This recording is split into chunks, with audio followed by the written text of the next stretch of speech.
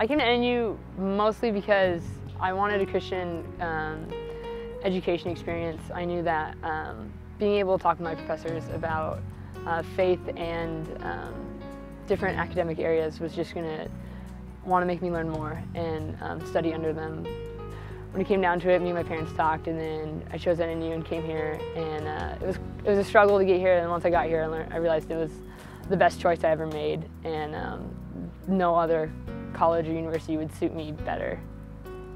Neuroscience or neuropsychology is kind of the study of, of the brain and how it, how it functions and um, what happens when it's not working correctly. Um, when there's brain disorders or dysfunction, um, there's different tests and different um, imaging techniques that people use to kind of discover these. And so what I'm essentially doing is uh, medical schools have a pretty similar set of requirements for entrance. It includes usually a year of general biology, chemistry, um, organic chem, um, classes along those lines. And you can find all the requirements based on the school on their websites and everything. And so what I did was research the schools I'm most interested in um, with the programs I like and um, I am taking all the requirements that they have alongside my, uh, my neuroscience requirements.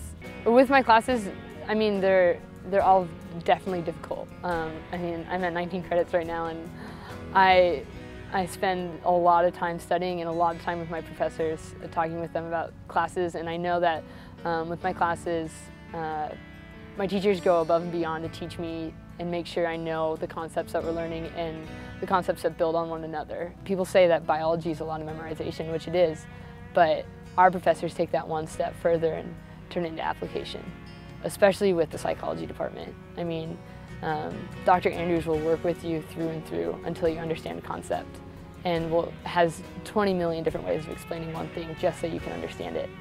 So I mean, if if you ask for the help, you will get it and you'll have that just solid foundation for what you'll be taught in graduate level um, academics.